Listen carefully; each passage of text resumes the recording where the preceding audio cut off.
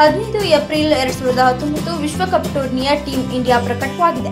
ಮುಂಬೈನಲ್ಲಿ team India ಆಯ್ಕೆ ಸಮಿತಿ ಮುಖ್ಯಸ್ಥ ಎಂಎಸ್ಕೆ ಪ್ರಸಾದ್ ನೇತೃತ್ವದಲ್ಲಿ ನಡೆದ ಆಯ್ಕೆ ಸಮಿತಿ ಸಭೆಯಲ್ಲಿ ಹದಿನೈದು ಆಟಗಾರರನ್ನ ಆಯ್ಕೆ ಮಾಡಲಾಗಿದೆ. ಈ ಸಭೆಯಲ್ಲಿ ಕ್ಯಾಪ್ಟನ್ ವಿರಾಟ್ ಕೊಹ್ಲಿ ಕೂಡ ಭಾಗವಹಿಸಿದ್ರು. ಸಾಕಷ್ಟು ಅಳೆದು ತೂಗಿ ಇಂಗ್ಲೆಂಡ್ನಲ್ಲಿ ನಡೆಯುವ ಮಹಾಸಂಗ್ರಾಮಕ್ಕೆ ವಿರಾಟ್ ಕೊಹ್ಲಿ ಸೈನ್ಯವನ್ನ ಸಿದ್ಧಗೊಳಿಸಲಾಗಿದೆ.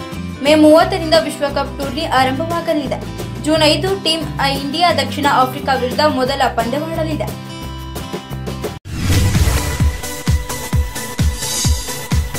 ವಿಶ್ವಕಪ್ಗೆ ಟೀಂ ಇಂಡಿಯಾ ಹದಿನೈದು ಆಟಗಾರರು ವಿರಾಟ್ ಕೊಹ್ಲಿ ರೋಹಿತ್ ಶರ್ಮಾ ಶಿಖರ್ ಧವನ್ ಕೆಎಲ್ ರಾಹುಲ್ ವಿಜಯ್ ಶಂಕರ್ ಎಂಎಸ್ ಧೋನಿ ಕೇದಾರ್ ಜಾಧವ್ ದಿನೇಶ್ ಕಾರ್ತಿಕ್ ಕುಲ್ದೀಪ್ ಯಾದವ್ ಯಜುವೇಂದರ್ ಚಹಲ್ ಹಾರ್ದಿಕ್ ಪಾಂಡ್ಯ ರವೀಂದ್ರ ಜಡೇಜಾ ಮೊಹಮ್ಮದ್ ಶಮಿ ಜಸ್ಟಿಕ್ ಬುಮ್ರಾ ಭುವನೇಶ್ವರ್ ಕುಮಾರ್